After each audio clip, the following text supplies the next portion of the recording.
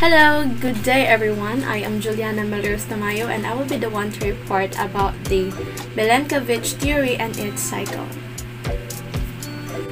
What we'll discuss? In this report, we are going to tackle about what is Milankovitch cycle, what are the three Milankovitch parameters, what is Milankovitch theory, what's the rule, and how do they work on our Earth. Who developed the Milankovitch theory? The person who developed the Milankovitch theory is no other than Milutin Milankovitch. He is best known for developing one of the most significant theories relating Earth motions and long-term climate change. The cycles are named after him. He is a Serbian anthropologist who began investigating the cause of Earth's ancient ice ages in the early 90s. According to the American Museum of Natural History, AMNH. As you can see in the picture right here, this is Milutin Milankovitch. Milankovitch dedicated his career to developing a mathematical theory of climate based on the seasonal and latitudinal variations of solar radiation received by the Earth, now known as the Milankovitch theory. It states that as the Earth travels through space around the Sun, Cyclical variations in three elements of Earth-Sun geometry combine to produce variations in the amount of solar energy that reaches Earth, eccentricity, obliquity, and precession. Together, the periods of these orbital motions have become known as Milankovitch cycles. And here's a picture of Milankovitch cycles and how it looks like and as you can see. So what is Milankovitch cycle? A Milankovitch cycle is a cyclical movement related to the Earth's orbit around the Sun. There are three of them, which is the eccentricity, axial tilt, and the precession. According to the Milankovitch theory, these three cycles combine to affect the amount of solar heat that's incident on the Earth's surface and subsequently influence climate patterns. Our lives literally revolve around cycles. I think we all know that. Well, probably. Series of events that are repeated regularly in the same order. There are hundreds of different types of cycle in our world and in the universe. Some are natural, such as the change of the seasons, annual animal migrations, or the circadian rhythms that govern our sleep patterns. Other are human-produced like growing and harvesting crops, musical rhythms, or economic cycles. Just like this cycle going on around our universe. So what's the role of a cycle or the Milankovitch cycle? Cycles also play key roles in the Earth's short-term weather and long-term climate. A century ago, Serbian scientist Milutin Milankovitch hypothesized the long-term collective effects of changes in Earth's position relative to the Sun are strong driver of Earth's long-term climate and are responsible for triggering the beginning and end of glacial periods, which is the ice ages. Specifically, he examined how variations in three types of Earth orbital movements affect how much sol solar radiation, known as insolation, reaches the top of Earth's atmosphere as well as where the insolation reaches. These cyclical orbital movements, which become known as the Milankovitch cycles, cause variations of up to 25% in the amount of incoming insolation at Earth's mid-latitudes. Mid-latitudes are the areas of our planet located between about 30 and 60 degrees north and south of the equator. So the Milankovitch cycles include 1. The variations in the Earth's orbital eccentricity, which is the shape of the orbit around the Sun.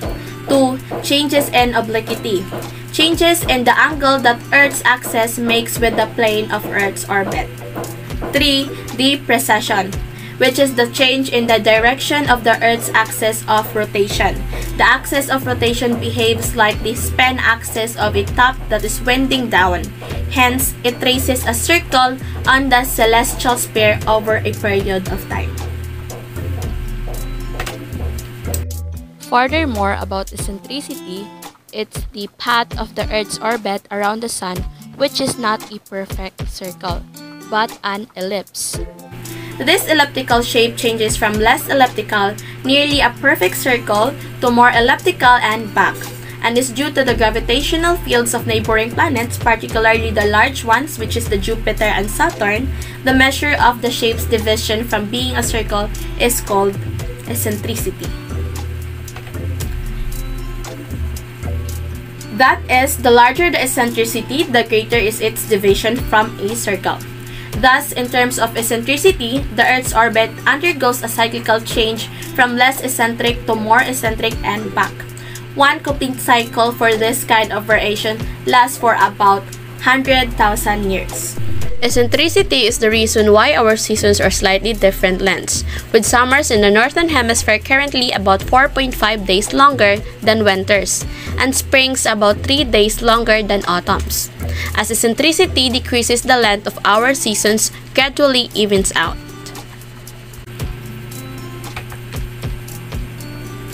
and this is how it looks like when changes in eccentricity happens and that's how and that's how it moves as you can see.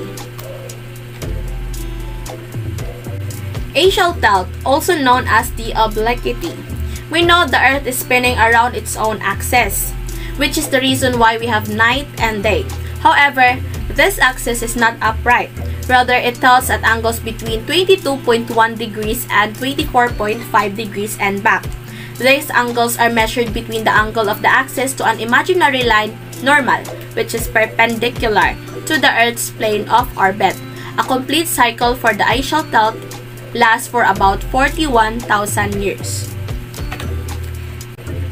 Greater tilts mean that the hemisphere closer to the sun during summer will experience a larger amount of heat than when the tilt is less. In other words, regions in the extreme upper and lower hemisphere will experience the hottest summers and the coldest winters during a maximum tilt. It was last at its maximum tilt about 10,700 years ago and will reach its minimum tilt about 9,800 years from now. As obliquity decreases, it gradually helps make our seasons milder, resulting in increasingly warmer winters and cooler summers that gradually over time allow snow and ice at high latitudes to build up into large ice sheets. As ice cover increases, it reflects more of the sun's energy back into space, promoting even farther cooling. And this is what it looks like in the Earth in changes oblique obliquity. Precession. Aside from the tilt, the axis also wobbles like a top. A complete wobble cycle is more or less 26,000 years. This motion is caused by tidal forces from the sun and moon. Precession as well as tilting are the reasons why regions near at the poles experience very long nights and very long days at certain times of the year. For example, in Norway, the sun never completely descends beneath the horizon between late May to late, late July. The Milankovitch cycles are among the arguments fielded by detractors of the global warming concept. According to them, the Earth's current warming is just part of a series of cyclical events that take thousands of years to complete and hence cannot be prevented. Axial precession makes seasonal contrast more extreme in one hemisphere and less extreme in the other. Currently in perihelion occurs during winter in the northern hemisphere and in summer in the southern hemisphere. This makes southern hemisphere summers hotter and moderates northern hemisphere seasonal variations. But in about 13,000 years, axial precession will cause these conditions to flip, with the northern hemisphere seeing more extremes in solar radiation and the southern hemisphere experiencing more moderate seasonal variations. Precession does not affect seasonal timing relative to Earth's closest and farthest points around the Sun. However, the modern calendar system ties itself to the seasons, and so, for example, the northern hemisphere winter will never occur in July.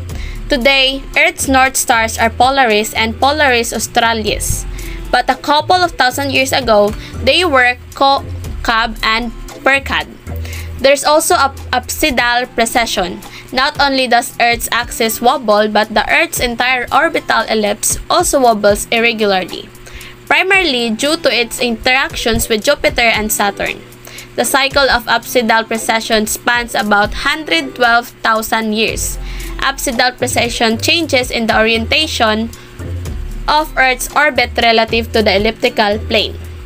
The combined effect of axial and apsidal precession result in an overall precession cycle spanning about 23,000 years on average. And this is how it looks like when axial precession happens and how it's and how it wobbles. And that would be all for my topic. And here's my references. And thanks for listening. I hope you have learned from me. Bye!